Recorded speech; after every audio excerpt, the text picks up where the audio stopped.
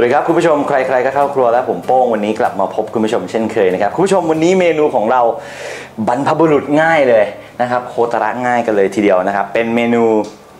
ที่ทุกคนเนี่ยปกติถ้าไปซูเปอร์ต้องไปซื้อเขากินใช่ไหมครูตรงอะผมกำลังพูดถึงครูตรง วันนี้เราจะมาทำ easy homemade ครูตรงกันทำได้ที่บ้านเลยคุณผู้ชมสุดส่วนผสมตามนี้เลยครับ โอเคครับ อย่าตกใจคุณผู้ชมส่วนผสมแค่นี้เลยครับ ขนมปังนะครับขนมปังที่คุณผู้ชมจะเลือกได้ตามใจชอบเลย แต่ว่าถ้าอยากให้ได้ crouton คุณภาพดีหน่อยผมแนะนำให้เป็น slice ค่อนข้างหนานะครับแล้วก็จะเป็นพวกสไตล์ homemade หรือว่าเป็น whole grain ไปเลยอย่างเงี้ยก็ได้นะครับไม่ผิดกติกา เดี๋ยวเราจะมาตัดขอบกันนะครับ เสร็จเรียบร้อยแล้วก็เนยครับเนยผม ผมแนะให้เป็นเนยจืดนะ เพราะว่ารสชาติมันจะได้หอมๆไม่แบบออกกระแลมซะทีเดียว ถ้าอยากได้เค็มเราค่อยมาโรยเกลือทีหลัง แต่ว่าถ้ามันเป็นเนยเค็มมาเลยเนี่ยมันค่อนข้างจะคุมรสยากนิดนึงนะครับเนยถ้าอยากให้ครูตรงเราคุณภาพดีก็เน้นที่เนยนะฮะมันจะมีเนยจากเดนมาร์กยี่ห้อหนึ่งที่แบบค่อนข้าง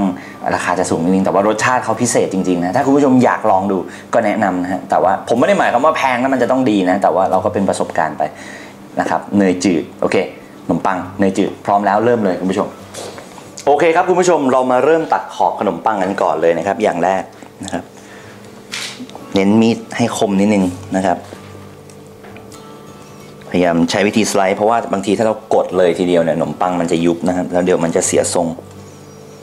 เวลาเอาไปทำครูตรงแล้วจะไม่สวยเห็นไหมคุณผู้ชมผมได้ขอบขนมปังสวยๆโอเค จากนั้นเราก็หั่นเป็นชิ้นๆตามชอบนะครับผมพยายามให้ชิ้นมันเท่าๆกันนิดนึง ผมดูหน้าตัดก่อนอประมาณนี้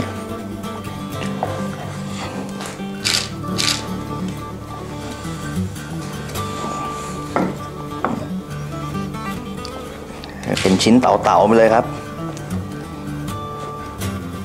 โอเคประมาณนี้ครับคุณผู้ชมอ่าเราได้ชิ้นครูตรงที่ต้องการแล้วค่อนข้างใหญ่นิดนึงนะครับ เดี๋ยวพอเราเอาไปา เอาไปคลุกกับเนยแล้วอะมันจะขอบมันจะกรุบกรุบๆนะได้สีเหลืองทองโอเค ประมาณนี้ทำให้ครบครับแล้วเดี๋ยวเราไปดูขั้นตอนต่อไปกัน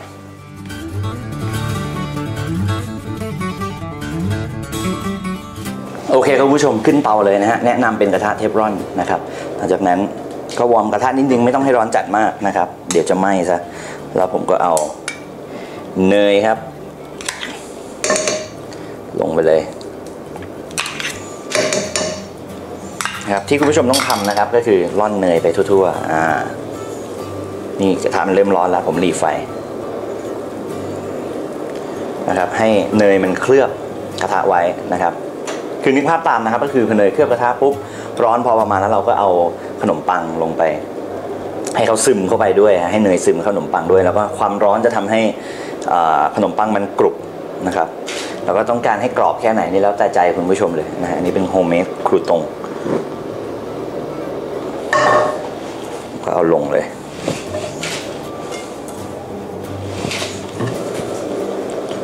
เห็นไหมคุณผู้ชม สีอ่านี่ผมเริ่มเร่งไฟขึ้นมานิดนึง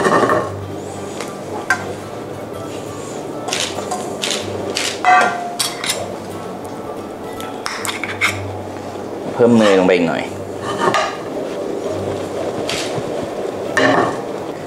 ที่คุณผู้ชมต้องระวังนะครับก็คืออย่าเพลินนะ เพราะว่าเราปล่อยทิ้งไว้สักพักหนึ่งตอนนี้อาจจะแบบความร้อนมันยังไม่พอนะเพราะขนมปังมันก็มีความชื้นด้วยนะครับ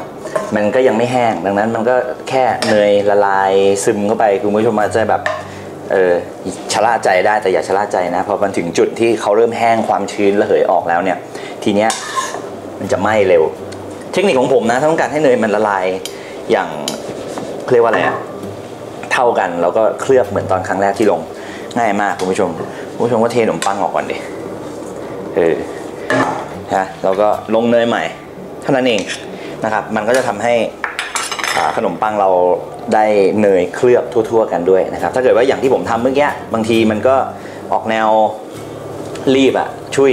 นิดนึงก็คือให้มันละลายแล้วก็ซึม แต่อันนั้นแล้วแต่ถ้าเกิดว่าเราสามารถเขาเรียกว่าอะไรอะคือผมรู้ว่าผมสามารถควบคุมมันได้มันก็โอเค แต่ว่า ถ้าคุณผู้ชมไม่อยากเสี่ยงก็เนี่ยครับเทออกก่อนแล้วก็ละลายเนยใหม่อย่างเงี้ยนะเราก็จะได้เนยแบบหอมๆที่เราต้องการนะครับ เพราะเนยเนี่ยเวลาเขาเอามาคั่วกับไฟอย่างเงี้ยเขาจะมีกลิ่นเฉพาะตัวนะครับอันนั้นรายละเอียดค่อยว่ากันอีกที แต่ว่าอะละลายแล้วเราก็ลงใหม่ดิประมาณนี้นะครับเขี่ยให้เขาสัมผัสทั่วๆไฟผมใช้ไฟปานกลางค่อนอ่อน อย่าไปแรงมากคุณผู้ชมเดี๋ยวจะไหม้เสียของครับเปล่าๆนะครับ ประมาณนี้ก็ให้เนยมันเคลือบโอเค เดี๋ยวพอได้แล้วผมจะให้คุณผู้ชมดูว่าหน้าตาสีสันจะสวยงามขนาดไหน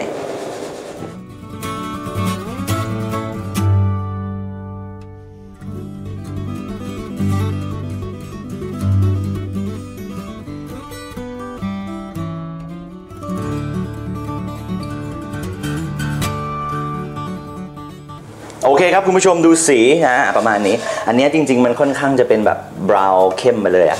ที่ผมแอบเผลอนิดนึงแต่ว่าไม่เป็นไรเพราะว่ามันเข้มแต่มันไม่ได้ไหม้นะ ไม่ได้ใกล้เคียงว่าจะไหม้เลยด้วย หอมมาก แต่ถ้าคุณผู้ชมรู้สึกว่ามันเข้มไปก็อ่อนกว่านี้หน่อยก็ได้นะครับก็อันนี้ผมคั่วจนเขาก็เริ่มแห้งแล้วนะดูสิไม่ยอมเข้าปากตัดนะ อันนี้ตัดนะอะคุณผู้ชมเดี๋ยอืมเห็นไหมhomemade หอมอร่อย แล้วมันก็จะไม่ได้แห้งแกรกด้วยมันยังมีความนุ่มความชื้นๆเล็ก ๆ อยู่ข้างในนะครับอะวิธีก็คือคุณผู้ชมก็เอาไปซับในทิชชู่นิดหน่อยนะครับ ให้ให้เขาดูดความชื้นออกไปสักพักหนึ่งนะครับแล้วก็ทิ้งไว้ในที่โปร่งๆสักแป๊บหนึ่งในครัวนั่นแหละอุณหภูมิห้องนะครับให้ความชื้นเขาระเหยออกเพราะตอนนี้เขามีความร้อนมันจะคายความชื้นออกนะครับ มันจะกรุบขึ้นอีกนิดนึงหรืออาจจะพอสมควรนะครับ อยู่ที่ความร้อนเนี่ยเห็นไหมมันมันจะเริ่มแข็งแล้ว เสร็จแล้วครับ เดี๋ยวเราจัดโชว์กันเลยคุณผู้ชม homemade crouton บะโอเคครับคุณผู้ชมจัดเรียงให้สวยได้ประมาณเนี้ยนะครับก็ง่ายๆนิดเดียวครับเมนูนี้ผมแนะนำคุณผู้ชมมันมันง่ายนะครับ แต่ว่าประโยชน์ของเขาจริงๆนะคุณผู้ชมผมจะบอกว่าใครจะไปรู้ครับบางทีที่บ้านคุณผู้ชมอาจจะมีขนมปังเหลือเยอะมากนะครับ ผมแนะนำเอามาทำอย่างเงี้ยมันได้ประโยชน์ดีแทนที่เราจะแบบกินแบบ เรียกว่าไงอะกินแบบขอไปทีบางทีก็กินไปอย่างนั้น แต่ว่าอันนี้เรามาเพิ่มมูลค่า เพิ่มรสชาติให้มันอร่อยดูดี แล้วก็เป็นการยืดอายุของได้ด้วยนะฮะขนมปังสมมติว่ามันจะหมดอายุสักประมาณพรุ่งนี้มะรืนนี้เนี่ยพอคุณผู้ชมทำเป็นครูตรงแล้วมันอยู่ได้เป็นอาทิตย์แน่ๆนะครับแล้วก็ผมว่ามันกินง่ายกว่าเดิมด้วยนะครับอย่าลืมลองทำดูครับเสร็จเรียบร้อยโฮมเมดครูตรง